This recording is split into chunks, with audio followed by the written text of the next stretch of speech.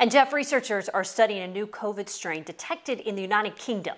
The big questions right now are how contagious is it and will the vaccine work against it? On your sides, Brianna Ray Turner spoke with local doctors who say some answers are pretty clear.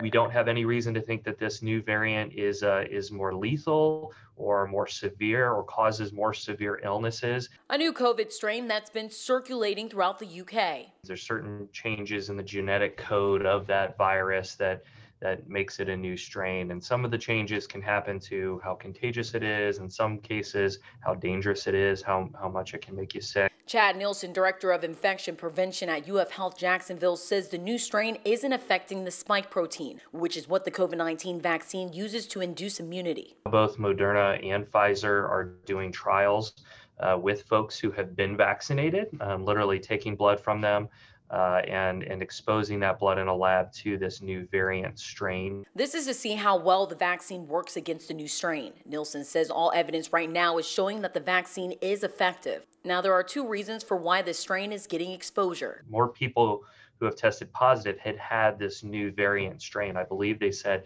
over 60% of people that are that are new cases in the UK now have this variant. And then number 2, they put two and two together and they said, well, we're also seeing cases explode at a higher rate than we have before, and they think that means that this new strain is is more contagious. Dr. Vincy Samuel, director of employee health at Baptist Health, says there's a chance that this new COVID strain is in the U.S. Regardless of that mutation, our precautions are still the same. You still have to wear your mask. You do want to get vaccinated when it's your turn to get vaccinated. Continue hand hygiene, disinfecting surfaces, and social distancing. In Jacksonville, Brianna Ray Turner, First Coast News on your side.